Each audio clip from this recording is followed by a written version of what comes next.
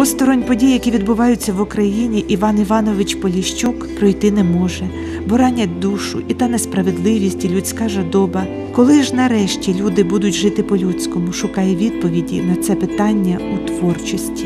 Детальніше про це у програмі Бути собою у вівторок о 20.30 і середу о 18.05.